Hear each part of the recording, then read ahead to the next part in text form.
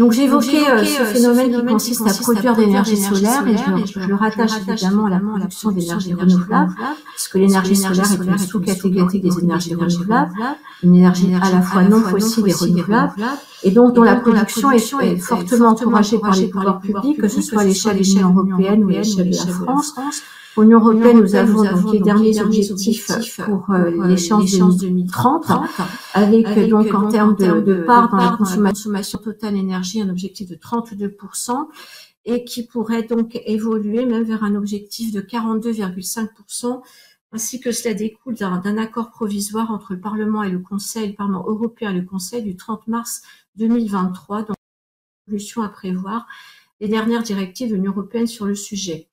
Pour ce qui concerne la France, je vous cite aussi le dernier objectif tel qu'il a été fixé par une loi de 2019 relative à l'énergie au climat, qui euh, fait état d'un objectif de 33% de NR dans le énergétique national, toujours en, 2030.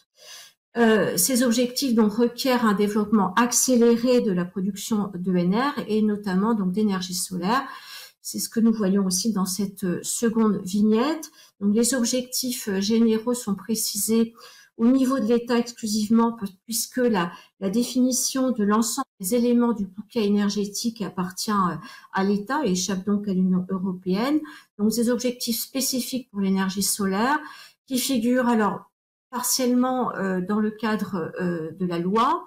Et donc, je citerai à nouveau ici une loi que vous avez certainement évoquée à de multiples reprises ce matin, la dernière loi sur l'accélération de la production d'énergie renouvelable, qui inscrit donc euh, la production d'électricité issue d'installations agrivoltaïques comme un objectif à part entière de la politique énergétique nationale. Cette loi donc nous invite d'emblée aussi à distinguer évidemment le solaire photovoltaïque et le solaire agrivoltaïque. Ce sont donc deux choses désormais distinguées. Euh, également, j'ai à nouveau l'écho qui, me vient à l'oreille. Des objectifs également qui sont précisés non plus par le Parlement, mais par le gouvernement dans le cadre de la PPE. la dernière PPE en date voit des objectifs sectoriels pour le solaire photovoltaïque. Vous avez les chiffres devant, vos yeux. Euh, chiffres assortis, assortis d'un calendrier d'appel d'offres mais également, euh, on n'oubliera pas d'évoquer la production solaire thermique avec des chiffres également qui figurent dans cette PPE et des objectifs non pas seulement quantitatifs mais qualitatifs puisqu'il est fait état de la nécessité de développer une communication sur l'intérêt du solaire thermique vers le milieu agricole. Alors dans la euh, vignette suivante, euh, je m'intéresse donc évidemment à, l'appropriation de, cette production par le, monde rural et donc par euh, son euh, installation, son implantation, son implantation pardon, dans les espaces ruraux. Alors, que faut-il protéger? Il s'agit donc ici des espaces ruraux. Alors, comment entendre cette expression? Négativement, je dirais qu'il ne s'agit pas d'espaces urbanisés ou artificialisés, donc la, définition de l'artificialisation, euh, elle figure désormais dans un texte législatif. L'artificialisation, c'est l'altération durable de toute ou partie des fonctions écologiques d'un sol, en particulier ses fonctions biologiques, hydriques et climatiques, ainsi que de son potentiel agronomique, ceci par son occupation ou son usage. C'est ce qui, figure à l'article L101-2 1 du Code de l'urbanisme. Donc ce texte qui est issu de la loi climat et résilience euh, invite à considérer bien sûr la surface agricole comme une surface non artificialisée. Pardon. Reste à savoir s'il en est ainsi également pour les surfaces occupées par des bâtiments agricoles. Probablement, mais là sans doute il faudrait une clarification. En tout cas, espace non, euh, non urbanisé, on peut aussi les qualifier donc d'espaces naturels, agricoles et forestiers, donc les fameux espaces NAF, euh, sachant que dans cette intervention, j'insiste surtout sur la dimension agricole de ces espaces. Alors, dans le cadre du prochain slide, j'interroge les raisons, les motifs de la protection de ces, euh, espaces ruraux et espaces donc euh, particulièrement agricoles. Alors un double constat ici, tout d'abord, les espaces agricoles sont effectivement propices à la production d'énergie solaire. Tout d'abord parce que euh, euh, il y a ici des surfaces qui sont disponibles. Euh, on peut en effet implanter donc les panneaux solaires photovoltaïques en particulier sur les bâtiments, mais aussi sur les sols agricoles. Et on peut aussi relever ici qu'il y a tout un vocabulaire, tout un champ lexical de la production d'énergie solaire qui emprunte dans une très grande mesure au vocabulaire euh, du monde agricole, donc les fermes solaires, les champs solaires, l'agrivoltaïsme, etc. Deuxième constat, la production d'énergie solaire est a priori une production avantageuse au sein des espaces agricoles, avec ici donc deux explications. En premier lieu, évidemment, l'agriculteur peut en retirer des revenus, que ce soit dans le cas donc de loyer, ou bien parce qu'il est éligible à des régimes d'aide. Et puis il y a peut-être aussi d'autres avantages. Il y a bien sûr la production ici euh, d'une énergie euh, décarbonée. Donc là, c'est un, c'est ce qu'on peut appeler une externalité euh, positive d'intérêt général, mais il y a aussi évidemment des intérêts, enfin évidemment, en tout cas des études sont menées en ce sens, qui tentent à montrer que l'activité de production d'énergie solaire présenterait certains co-bénéfices sur la pousse de l'herbe, sur la protection contre les aléas climatiques, par exemple. Sauf que alors même que cette activité paraît s'envisager facilement dans le cadre le milieu agricole, elle n'en comporte pas moins des risques pour ces milieux, des risques notamment de dénaturation de l'activité agricole et puis plus largement de dévoiement des espaces agricoles. Donc troisième vignette dans le cadre de cette introduction, il paraît donc justifié de protéger les espaces ruraux. Et donc vignette suivante, il reste à savoir comment on va protéger euh, ces espaces. Alors protéger comment? On va ici convoquer euh, le droit, tout simplement parce que c'est le rôle du droit euh, d'opposer des limites aux activités humaines. le droit ici donc mobilisé notamment en regard de son aptitude à émettre des, obligations, des interdictions. Et on va constater aussi qu'au cas présent, c'est sans doute probablement le droit de l'urbanisme qui est ici une fonction importante à jouer, puisque c'est lui qui entend régir les différentes formes d'utilisation et d'occupation de l'espace. Vignette suivante. Donc faire un détour par le droit de l'urbanisme implique en particulier de s'intéresser aux objectifs de ce droit d'urbanisme, objectifs qui sont évoqués à l'article L101-1 du Code de l'urbanisme et objectifs qui sont précisés euh, à l'article L101-2 du Code de l'urbanisme. Nous avons notamment trois objectifs qui apparaissent dans le cas de cet article L101-2. Nous avons, je commence par le dernier, euh, tout d'abord l'objectif de production énergétique à partir de sources renouvelables. Donc le droit d'urbanisme a cet objectif-là, c'est une de ses, un de ses rôles, une de ses fonctions. Mais cet objectif est contrecarré ou contrebalancé par deux autres objectifs que j'ai mis ici en avant. Euh, deux autres objectifs qui sont donc complémentaires, mais aussi par la même concurrents, voire opposables, donc à l'objectif de production énergétique à partir de sources renouvelables.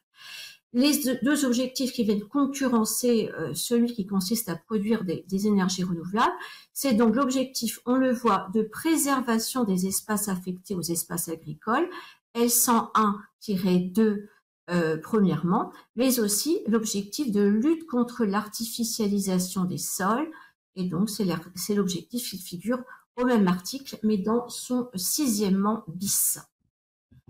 Alors, vignette suivante, et début de la première partie, euh, la question de la préservation des espaces affectés aux espaces agricoles. Alors, il appartient aux communes et aux intercommunalités de délimiter la vocation des différents espaces du territoire communal ou intercommunal, et il revient, comme on le sait, aux documents d'urbanisme, notamment au PLU, de préciser l'affectation des sols.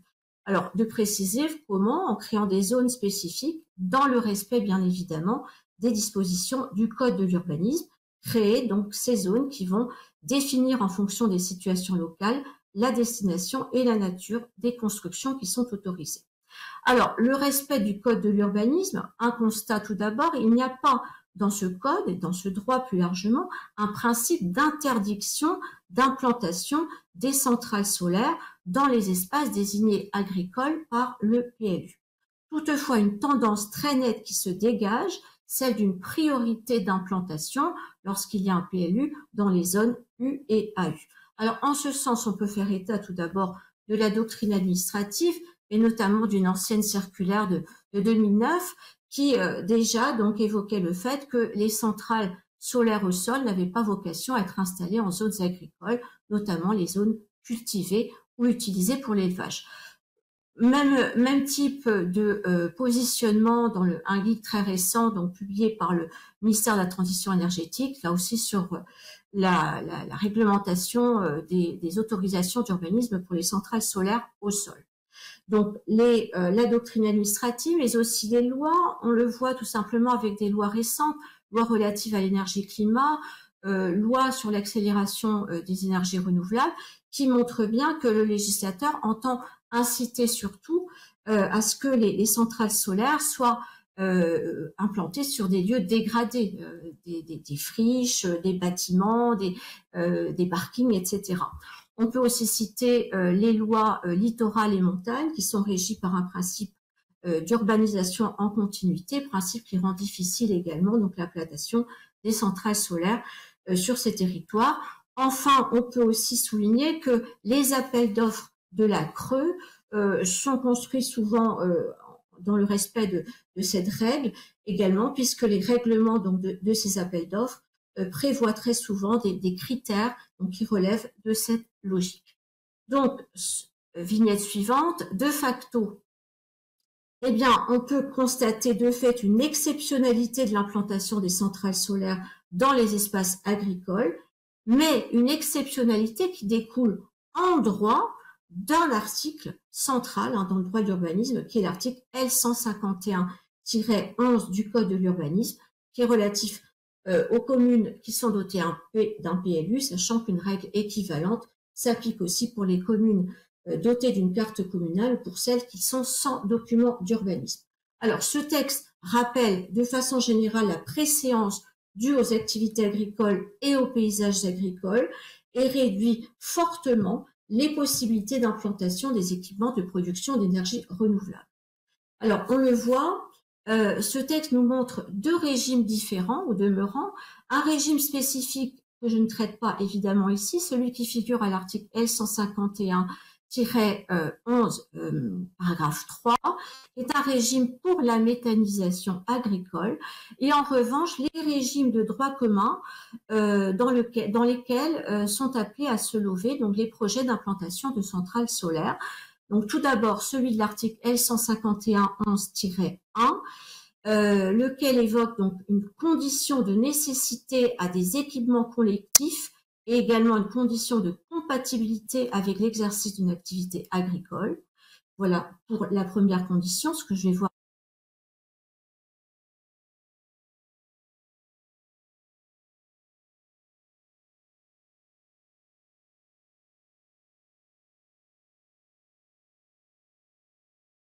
Donc la première condition vise plutôt les centrales solaires PV au sol, hein, ce sera le grand A, alors que le deuxième aspect vise euh, davantage les centrales solaires sur bâtiment.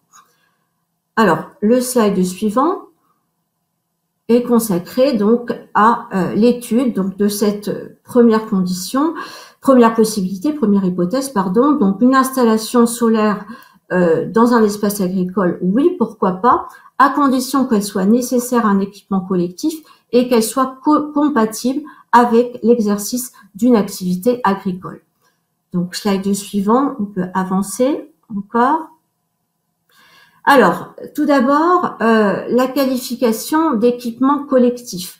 Alors, elle a longtemps reposé sur des réponses à des questions ministérielles qui avaient mis l'accent sur l'existence d'une vente de l'énergie, ici l'électricité, au public. Donc, nous pouvons citer par exemple une réponse euh, ministérielle rendue en 2010 pardon, pour la faute de frappe. Euh, cette, les contours de, de, cette notion ont été finalement précisés par la jurisprudence, un juge administratif qui invite à vérifier lui-même si donc le projet assure un service d'intérêt général qui correspond à un besoin collectif de la population. Donc autant dire ici qu'il faut là encore, hein, on peut dire une vente de l'énergie au public euh, et non pas un projet euh, d'autoconsommation. Alors, j'ai perdu ma vignette. Je ne l'ai plus, voilà. Euh, d'autres décisions ont confirmé hein, cette, cette jurisprudence, donc désormais bien établie. Deuxième aspect, l'installation vignette suivante. L'installation donc doit être nécessaire à un équipement collectif, mais elle doit être également compatible avec l'exercice d'une activité agricole. Alors ici, euh, on peut euh, d'ores et déjà et avant tout évoquer donc la jurisprudence, puisque c'est elle qui a précisé donc le sens de cette condition. Elle a expliqué qu'il fallait que le projet permette, je cite, le maintien d'une activité agricole, je cite, significative sur le terrain d'implantation. Donc c'est la célèbre jurisprudence photosol du Conseil d'État. Alors, le Conseil d'État qui a pris soin de souligner donc euh, les éléments d'appréciation hein, de cette ce caractère significatif de l'activité agricole qui peut être maintenue. Euh, donc, il faut euh, prendre en considération la superficie, de la parcelle, l'emprise du projet, la nature des sols, les usages locaux. Alors, significative ne veut pas dire euh, une activité qui sera identique à l'activité euh, qui était précédemment effectuée sur, sur la parcelle. Non, on comprend plutôt ici qu'il y a l'idée d'une coexistence nécessaire, hein, d'un co-usage de la parcelle agricole. Donc, comme tente à le signaler là aussi la jurisprudence, on peut citer un, jugement donc de la Cour administrative d'appel de, Bordeaux ou encore un, un, jugement plus récent du tribunal administratif de Dijon euh, de 2022. Donc, il s'agissait d'implanter sur un terrain de 35 hectares jusqu'alors cultivé et classé A au PLU un parc photovoltaïque au sol qui devait alimenter 10 000 foyers en électricité et mettre ces 35 hectares également pour du, du pâturage. Le tribunal administratif dit que l'activité est compatible. Pourquoi? Les terres étaient de qualité médiocre, et représentait euh, moins de 1% des terrains classés en zone A. Et par ailleurs, le juge souligne également que le projet contribue à réintroduire et à pérenniser en réalité un élevage au vin.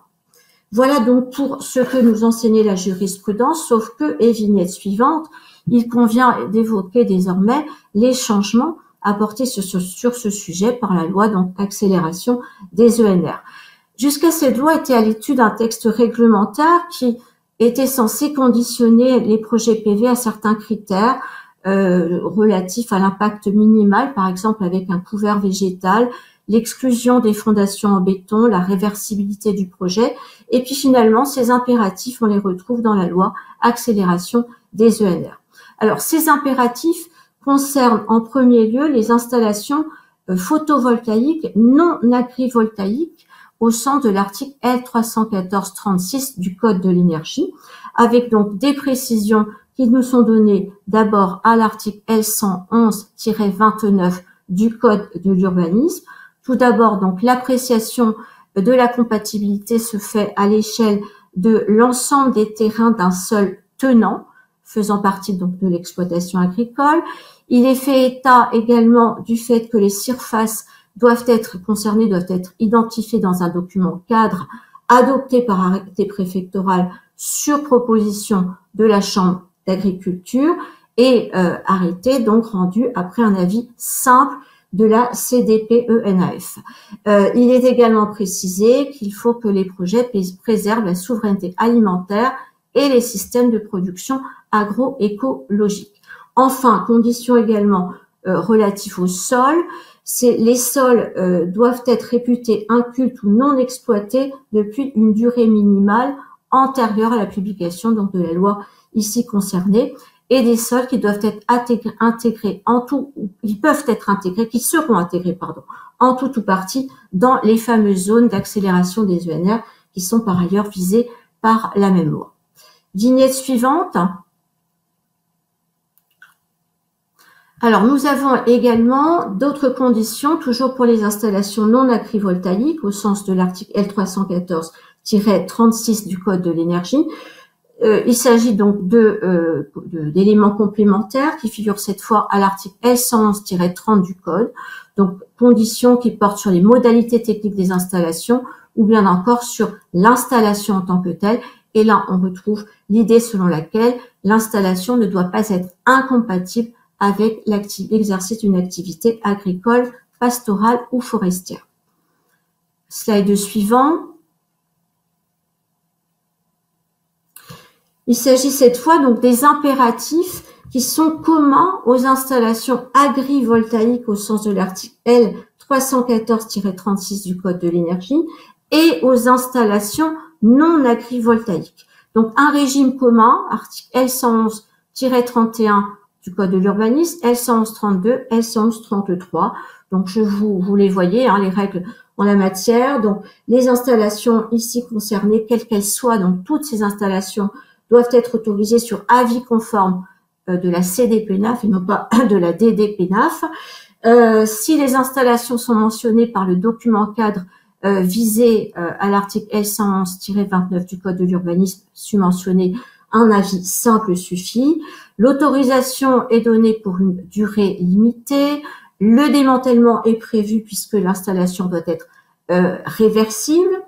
Euh, la, constitution, la constitution de, de garantie euh, financière est également prévue. Et enfin, l'article L111-33 qui indique que les centrales solaires au sol ne peuvent pas être autorisées dans les zones forestières spécifiquement, donc si elles ont, euh, si elles nécessitent un, défrichement. Slide suivant.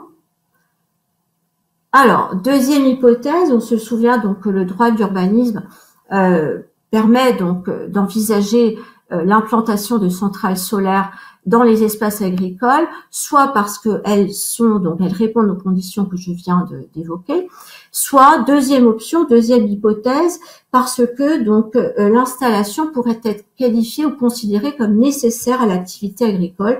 donc cette option invite ici à, évoquer donc le, le statut plutôt des centrales sur des bâtiments centrales solaires. Alors, deux régimes juridiques euh, distincts, là encore. Tout d'abord, le régime jurisprudentiel, puisqu'en effet, cette question a été pendant longtemps régie par euh, la, jurisprudence et donc un arrêt du Conseil d'État du 12 juillet 2019 qui disait qu'il ne fallait pas donc que les centrales solaires euh, viennent remettre en cause la destination agricole des constructions et des installations concernées. Donc l'ouvrage, à partir de là, cela semblait impliquer qu'il soit intégré à l'activité agricole, première possibilité, ceci dans une démarche d'autoconsommation, ou bien alors que l'ouvrage ait une finalité énergétique et agricole. Donc les deux possibilités étaient, euh, étaient envisageables. Mais euh, là encore, un régime juridique revu et corrigé par la loi accélération ENR, donc la loi du 10 mars 2023, qui crée euh, l'article L111-27 du Code de l'urbanisme, euh, qui et nous explique que l'installation que l'on peut qualifier de nécessaire à l'activité agricole est désormais l'installation agrivoltaïque au sens donc de l'article L314-36. Il faut donc se reporter à cette disposition pour comprendre dans quelle mesure l'installation répond à cette condition. Euh, il est également euh, indiqué à l'article L111-28 Code de l'urbanisme les serres, les hangars, les ombrières à usage agricole devront en tout état de cause correspondre à une nécessité liée à l'exercice effectif euh, d'une activité agricole, pastorale ou forestière significative. Donc on voit une volonté quand même de verrouiller davantage probablement euh, l'implantation, l'installation de ces centrales euh, également donc sur les bâtiments agricoles. Alors j'en viens à la deuxième partie de, de mon intervention et donc le prochain slide, s'il vous plaît. Donc deuxième aspect, deuxième thématique qui euh, doit être évoquée ici nécessairement, c'est le droit d'urbanisme qui nous invite à le faire. C'est donc le fameux objectif de lutte contre l'artificialisation des sols donc qui est un objectif euh, qui est traité en particulier par euh, la loi euh, du 22 août 2021, loi dite climat et résilience, donc loi qui comporte en effet plusieurs dispositions destinées à renforcer la lutte contre l'artificialisation des sols, une notion qui avait été consacrée auparavant, en 2018 notamment, dans le plan biodiversité. Alors, euh, la loi de 2021, euh, tout d'abord, euh, prévoit un objectif national d'absence de toute artificialisation nette des sols à l'horizon 2050. La même loi prévoit aussi un objectif qu'on peut qualifier d'intermédiaire de réduction du rythme de la consommation des espaces naturels agricoles et forestiers que l'on appelle donc plus communément les espaces NAF. Slide suivant. Alors, la loi, euh, la même loi toujours, a, euh, et c'est euh, c'était absolument nécessaire, à permettre d'appréhender au mieux donc les contours de cet enjeu grâce à un certain nombre de définitions, donc qui sont désormais des définitions légales. La définition de l'artificialisation des sols, tout d'abord, la définition de l'artificialisation nette, laquelle implique de comprendre ce qu'est une opération de renaturation des sols, puisque l'un ou l'une ne va pas sans l'autre, et enfin la notion de consommation des espaces NAF, c'est celle sans doute qui va nous intéresser de plus près ici, avec donc euh, cette définition, c'est la création ou l'extension effective d'espaces urbanisés sur le territoire concerné. Slide suivant. Alors, j'irai un petit peu plus vite. Euh, l'article L101-2-1 du Code de l'urbanisme, je rappelle donc que l'un de ses objectifs, c'est la protection des sols, des espaces naturels, agricoles et forestiers, mais aussi la renaturation des sols artificialisés. Donc, le droit de l'urbanisme, là encore, va jouer un rôle forcément. Slide suivant. Alors, la loi climat et résilience, toujours elle, l'article 194 qui euh, met en place un principe, euh, alors d'abord l'objectif bien sûr de lutte contre l'artificialisation des sols, qui est un objectif euh, qui euh, doit être intégré dans le SRADET, dans la planification euh, régionale, et également la même loi qui définit une trajectoire en matière donc de lutte contre l'artificialisation des sols. Alors cette trajectoire, c'est donc aboutir à l'absence de toute artificialisation nette des sols, ainsi que, donc je cite, par tranche de 10 années, un objectif de réduction du rythme de l'artificialisation. C'est ce que l'on peut appeler la trajectoire hein, de ralentissement de l'artificialisation, le législateur ayant précisé donc que cette trajectoire doit figurer dans les principaux documents de planification et d'urbanisme. Je les ai euh, présentés dans cette vignette. Vignette suivante. La grande question, c'est celle donc de l'intégration des installations de production d'énergie solaire dans cette démarche ZAN. Et donc, quelles sont les réponses que nous donne le droit en l'état actuel des choses? Les réponses figurent donc dans la loi climat et résilience et plus spécifiquement à l'article 194.3, deuxièmement et cinquièmement. Alors, on a, on a ici un article assez complexe qui euh, nous renvoie, nous ramène à cette question, à cette histoire de rythme, de réduction de l'artificialisation des sols. Je lis en effet pour la première tranche de 10 années de l'objectif de réduction du rythme de l'artificialisation des sols, il est indiqué qu'un espace naturel ou agricole occupé par une installation de production d'énergie photovoltaïque n'est pas comptabilisé dans le calcul de la consommation des espaces NAF à deux conditions. D'une part, elle n'affecte pas durablement les fonctions écologiques du sol et, le cas échéant est-il également indiqué, elle n'est pas incompatible avec l'exercice d'une activité agricole ou pastorale sur le terrain sur lequel elle est implantée. Le même texte prévoit que euh, un décret en Conseil d'État devra préciser donc ces, conditions. Alors on attend les euh, textes euh, sachant qu'un projet de décret et un projet d'arrêté ont été mis en consultation en mai 2022. Leur vocation, donc préciser les modalités de prise en compte des installations solaires photovoltaïques au sol dans le calcul de la consommation d'espace NAF. Ces arrêtés ont été mis en consultation en mai 2022. Ils ne sont toujours pas, à ma connaissance, adoptés. Alors, manifestement, il y a sans doute des difficultés. Quoi qu'il en soit, les projets ont été publiés et donc ils ont, euh, ce sont des, des, projets qui nous donnent quelques indications sur les deux conditions à respecter ici. La première, la condition de non-affectation des fonctions écologiques du sol, grand A. La seconde, la condition de compatibilité avec l'exercice d'une activité agricole ou pastorale. Donc, vignette suivante. Cette vignette, voilà, est relative à la présentation de cette première condition, la non-affectation des fonctions écologiques du sol. Donc, dans les projets de textes réglementaires, cette condition est précisée par des conditions ou critères euh, relatifs tout d'abord à l'exploitation, et on verra aussi dans un second temps à la fin de l'exploitation de la centrale solaire photovoltaïque. Les conditions relatives à l'exploitation, ce sont les suivantes. Pour remplir la condition de non-affectation des fonctions écologiques du sol, le projet de décret impose que les caractéristiques techniques des installations photovoltaïques permettent de garantir sur toute la durée de l'exploitation le maintien, alors on le voit, d'un couvert végétal adapté à la nature du sol, le cas échéant des habitats naturels préexistants sur le site d'implantation et enfin de la perméabilité du sol au niveau des voies d'accès. Voilà ce qui figure donc dans euh, le projet de décret.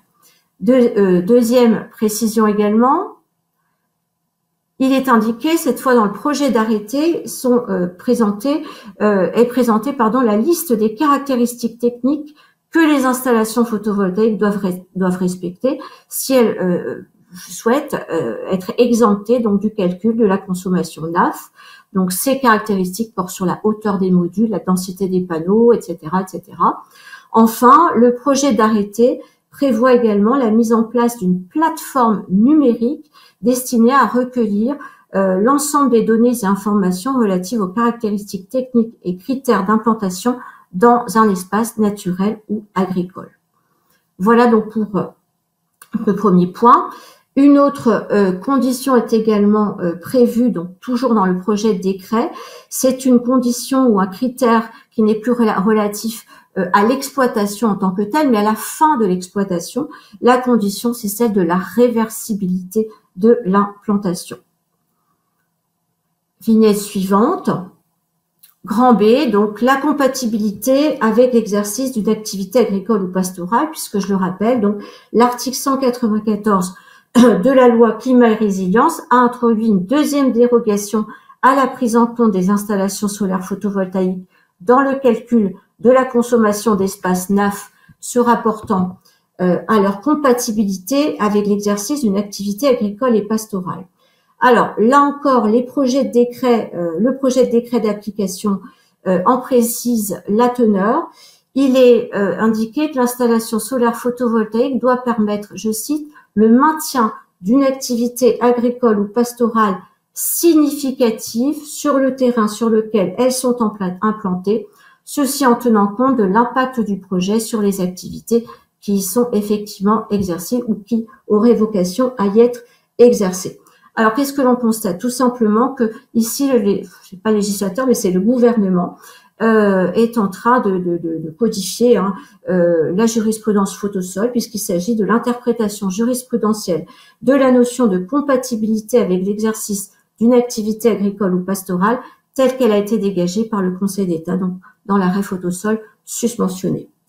Alors, en revanche, donc le projet de décret, et c'est logique, ne répond pas à la question de savoir quel est le régime juridique qui sera, qui serait applicable aux installations spécifiquement donc euh, agrivoltaïques, pardon, au sens de l'article L314-36.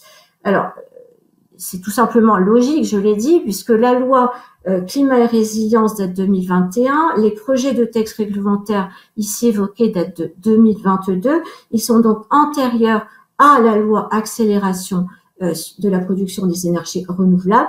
Il ne traite donc pas des conditions applicables aux installations qui répondent à euh, la définition légale de l'agrivoltaïsme. Donc une question reste en suspens euh, et je pense que les, les textes à venir devraient y répondre. Faut-il considérer que les installations agrivoltaïques satisfont ipso facto les critères que je viens d'évoquer? On le voit, on le constate, le régime juridique euh, de l'agrivoltaïsme mérite clairement d'être encore euh, clarifié. Voilà, j'ai terminé. J'espère ne pas avoir abusé du temps qui m'était imparti.